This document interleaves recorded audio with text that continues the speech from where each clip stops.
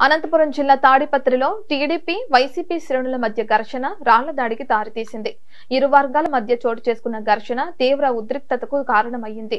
Tadipatri municipality పరిధిలో TDP in charge JC Prabhakar Reddy తనయుడు అస్మిత్ రెడ్డి గత మూడు రోజులుగా పర్యటన చేస్తున్నారు.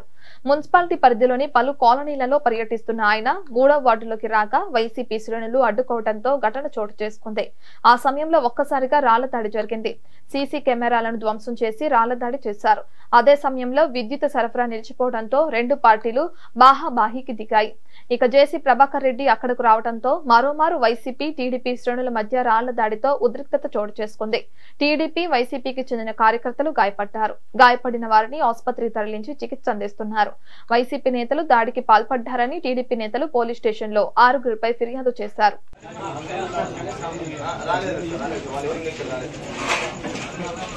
సరే.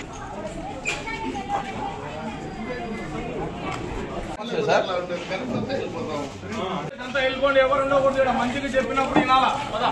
తీసుకొని పోతారు